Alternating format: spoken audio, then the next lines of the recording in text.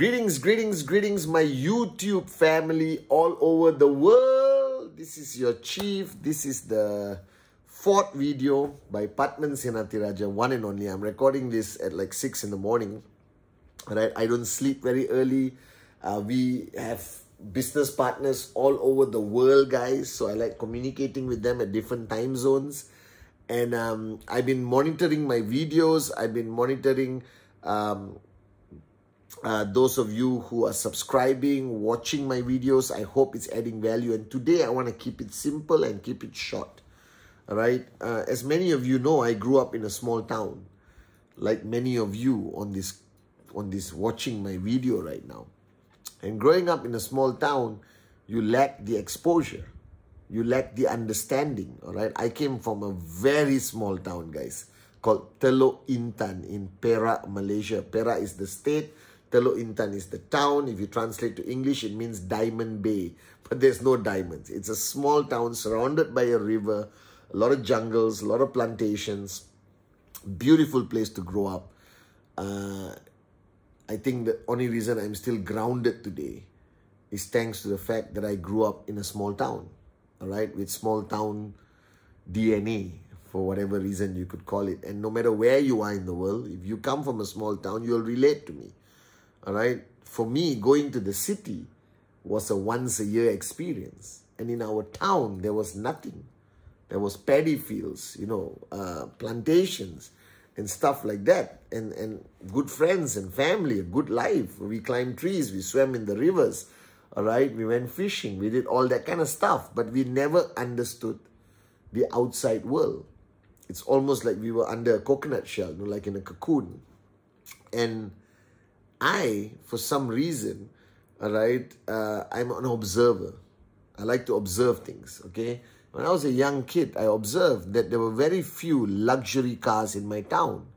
There was like two or three Mercedes owned by a businessman, a doctor, and a lawyer. All right. And I thought to myself, I said, man, this is some serious stuff. All right. So there's a doctor who has a Mercedes, there is a lawyer who has a Mercedes, and there's a businessman who has a Mercedes. And at that time, I was confused all right? And i i'm an ethnic um, sri lankan tamil okay? And in our culture the only thing that is respected if you become an engineer lawyer doctor accountant no other profession nobody talks about going into business becoming a business owner ceo no.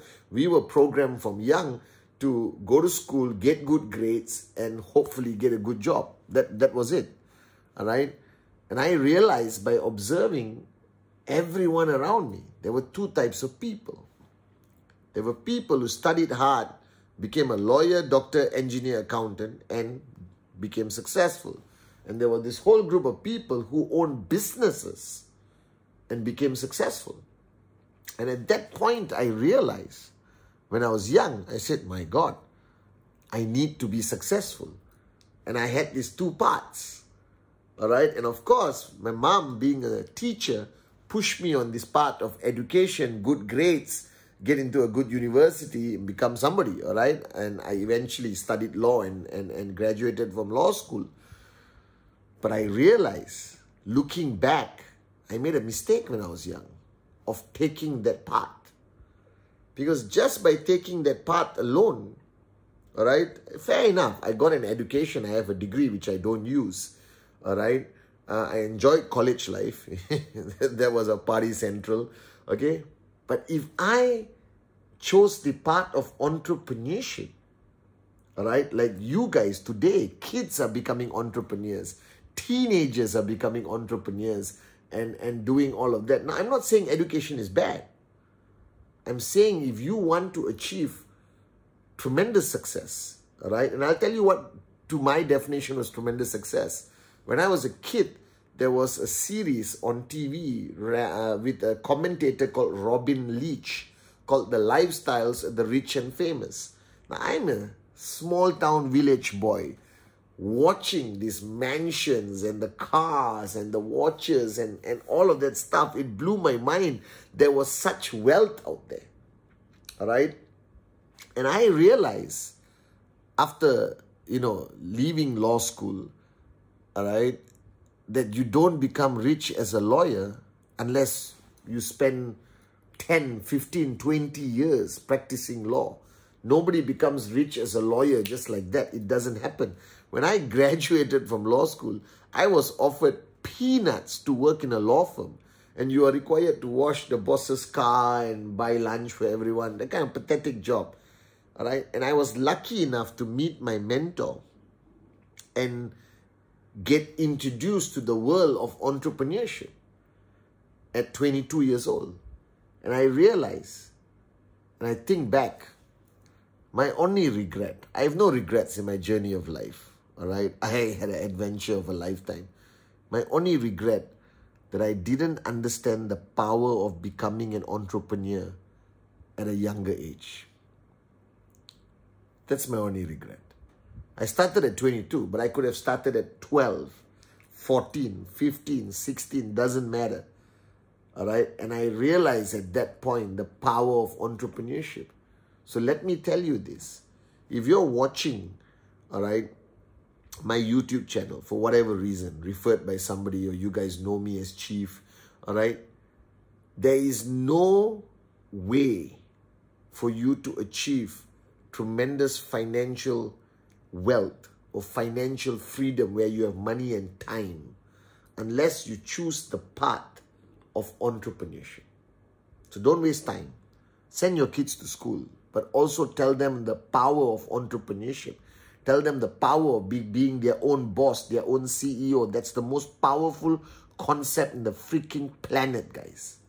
All right. And today, there is a, a broad mega spectrum, a buffet of opportunities, all right, that is going to tell you that they are a form of entrepreneurship. And I'm going to be sharing on the next episode why I chose what I believe is one of the greatest paths or journeys of entrepreneurship anyone can follow and it's sustainable and it's long term and it's generational. All right you don't want to build something for today and make money today. You want to build something today that will pay you for the next 50 years of your life. That is the true definition of financial freedom.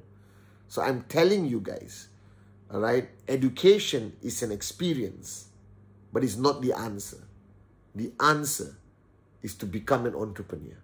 The answer to any form of wealth is to own your own business, be your own boss. All right, embrace uh, what's new in the world today and maximize. Now, let me warn you the journey of entrepreneurship, and I've been on this journey for 23 years as an entrepreneur. It's been an amazing journey, but it has its challenges. It's tough. It does not give you the sense of security of a job where you go to work, come back home, go to work, come back home, go to work, come back home, go to work, come back home, go to work, come back home, you get paid peanuts. And you get treated like a monkey. All right? That's a path I will never go to. I'm not built for that. And I don't think anyone should be built for that. The path you should choose, in my opinion, is entrepreneurship. Now, it comes with a price. It requires commitment. It requires sacrifice. It requires hard work. But trust me, it's worth it. You can fail as many times as you want. Just never, never, never give up. And one day, you will achieve achievements that is impossible in this part of employment. Let me tell you, I have nothing against jobs. Don't get me wrong. I have nothing against people who work hard and feed their families. But I'm just telling you, if you just want to survive, then a job would work. But if you want to live life, if you want to be part of the 5% and 2%, and please don't bull sugar me and say, no, I don't need this life. I'm completely satisfied where I am. No. I think everyone is born as a dreamer. Everyone is born because they want something out of their lives. And my only message to you on this episode 4 is if you ever want that real life you dream about as a teenager, it's not too late right? People can start their entrepreneurship journey at 70, 75. Oh, I hope you start at 18. All right? I wish I started at 18 or even younger, guys. So to me, I believe that the future of the world is not about people studying hard, getting a degree, and getting a dream job, go to work, come back home, go to work, come back home, go to work, come back home, and have that perfect life. That does not exist anymore. That was my maybe my father's time, my mother's time, or my grandparents. Today, I think the world needs to understand that society is hungry, society is angry, and they want solutions, wholesome solutions to your problem.